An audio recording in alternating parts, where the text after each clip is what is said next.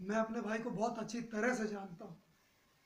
मैं दिल हूँ तो मैं दिल की धड़कन। और मैं सिर्फ़ उसी के लिए जी रहा हूँ। मैंने उसे पढ़ाया, लिखाया, अपनी सारी खुशियाँ कुर्बान कर दी, ताकि वो एक अच्छा इंसान बन सके। समाज में उसका नाम हो। लेकिन अगर तुम लोगों ने उसे भड़काया या गलत राह पर लेकर गए तो एक बात मत भूलना। खेती करता हूँ मैं, लेकिन अखाड़ा करना आज भी नहीं भूला हूँ। तो दूरी रहना मेरे भाई से।